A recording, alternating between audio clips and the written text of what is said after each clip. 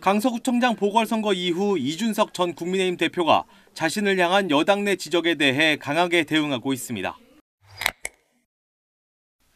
이 전 대표는 12일 KBS 더 라이브에 출연해 자신의 제명을 주장한 안철수 의원을 향해 지성이 의심된다고 직격탄을 날렸습니다. 이 전 대표는 우리가 보통 안철수 의원에 대해 얘기할 때 정치적 역량이 부족하다고 의심하지 지성을 의심하지는 않았다며 그런데 이번엔 지성을 좀 의심해야 할 것 같다고 말했습니다.